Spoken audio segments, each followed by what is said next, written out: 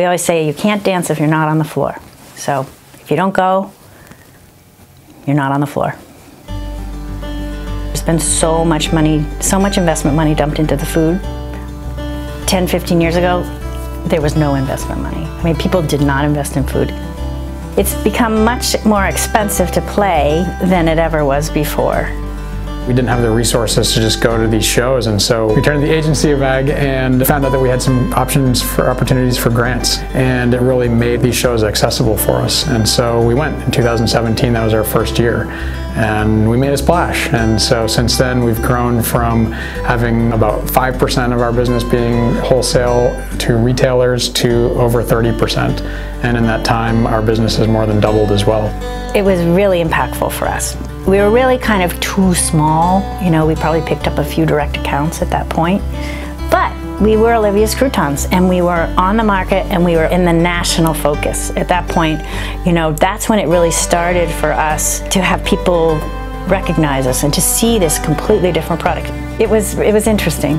But that was the beginning of our commitment to trade shows. I think the next year or the year after we started doing Expo East and I mean, we've been ever since. I, I, don't know how many years we've gone. I mean, 26, 27 years we've gone to these shows.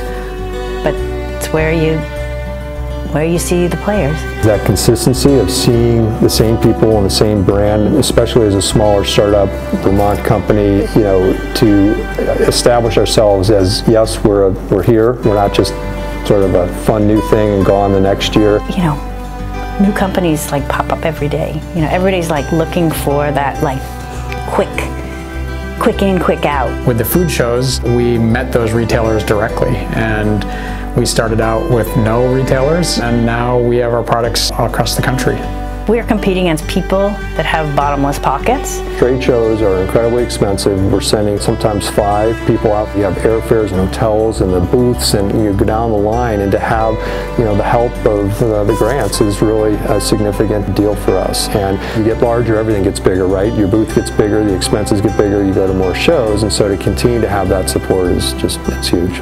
I don't think we would be where we are without the grants. I think we would be interested in doing this and we might have started you know putting our toe in the water but this has really allowed us to sort of reach out.